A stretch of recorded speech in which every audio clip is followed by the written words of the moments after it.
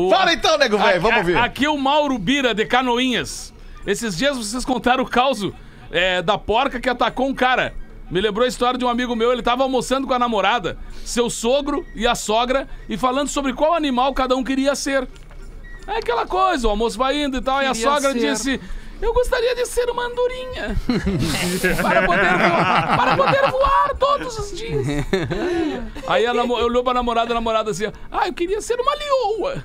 Pra poder mandar na selva. Aí o sogro olhou e disse, olha, eu acho que eu queria ser um bicho preguiça pra ficar dormindo, dormindo sempre que possível. E tu? Olhou pro, pro cara e o disse, eu queria ser um porco. Isso, um porco? Mas que coisa, um porco. Olha, tem uma surpresa, mas por que um porco? Porque o porco tem meia hora de orgasmo. Ninguém riu. Todo mundo deu uma olhada pro amigo dele assim. E o cara disse assim: manda um abraço pro gordo chupim. Que balão. O gordo chupim. Ô meu, gordo chupim é um apelido nojento, cara. Ai, 27 minutos pra 7. Obrigado pela sua audiência. Rafael, tem alguma pra botar pra gente aí, Tenho. Rafael? Aí uma um piada? O que, que é isso piada, aí? né? Que eu tô mandando Piada, muito bem, né, né? Rafa? Você é, o É aí. sucesso, você é o sucesso Eu desse sei, programa, hein? eu sei, eu sei. Olha onde esse programa chegou, hein? até, tá, até, tá me É doendo verdade, um pouco é também. verdade. Olha onde chegou esse Não, programa. vozes, eu vou fazer as vozes. Diz dizendo Ah, a galera que né? não ia dar, é? É, rapaziada. E a quando, galera quando falava, te hein? dizem que não vai dar, acredite. Exatamente. Talvez não dê. Vai vender quantos Exatamente. Quando agora?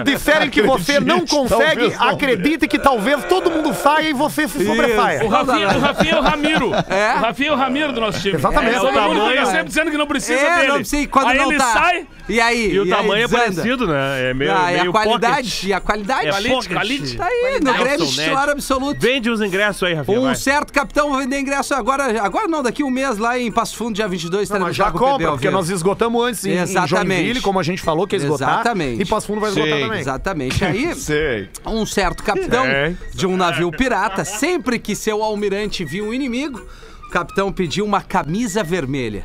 Um dia o almirante olhou no horizonte e gritou: Capitão! Inimigo ao sul!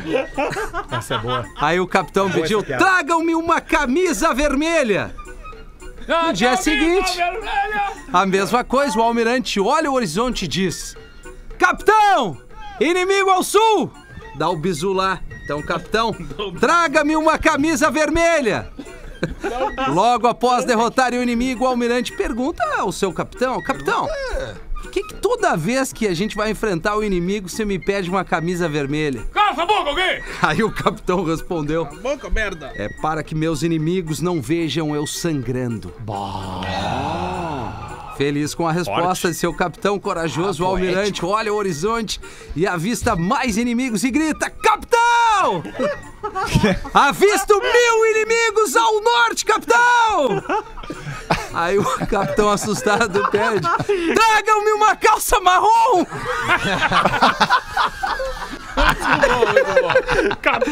Meu nome é Peterson, sou de Criciúma e sempre Boa. acompanho vocês pelo podcast do Dagar. boa, Manda um boa, capitão aí. Capitão!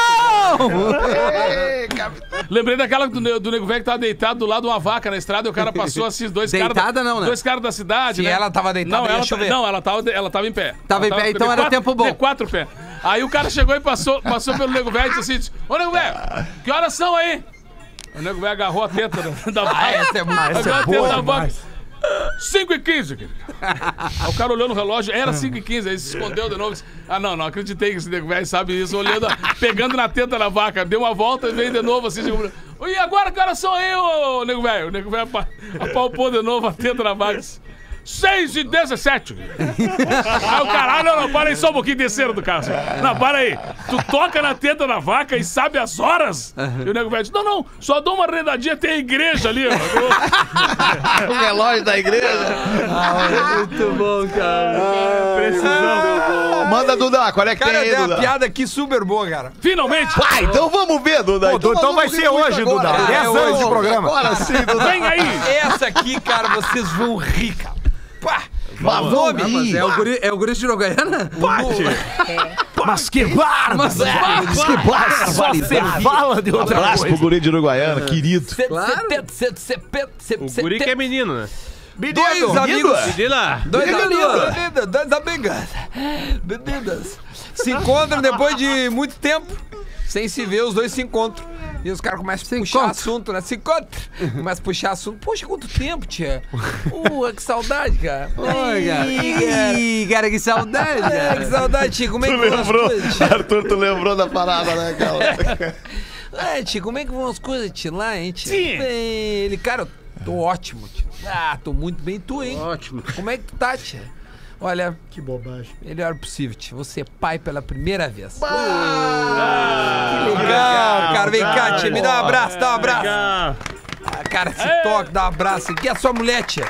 Tá feliz? Tua mulher tá feliz? Olha, por enquanto ela tá. Mas quando ela souber, ela vai ficar.